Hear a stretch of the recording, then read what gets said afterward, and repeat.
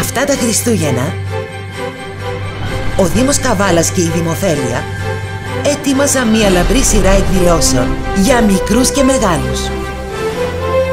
Παιχνίδια, μουσική, χορός, θέατρο, δημιουργικά εργαστήρια και πολλές πολλές εκπλήξεις.